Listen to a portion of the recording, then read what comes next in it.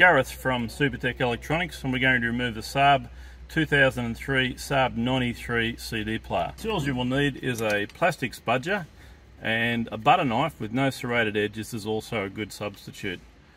And we're going to remove this ashtray first. Now it's held in with clips. Ours is loose. Yours will be a little harder to get out, but you're going to remove it and just set it to the side. Now this is where the spudger comes in handy. These two units here are one piece. They can, one can come out from the other.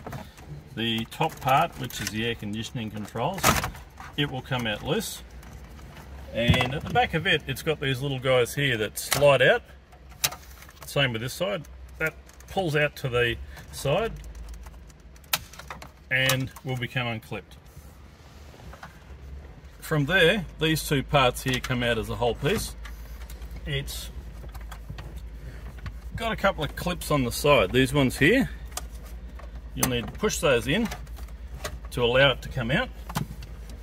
Uh, ours has been unclipped from the harnesses, but you'll need to you'll need to undo this guy. It comes out by pressing that button and pulling that out, and that will release it. Same with that guy. It's just got a little press press fit clip, and once you've got it removed, you can send that off to Supertech Electronics for repair.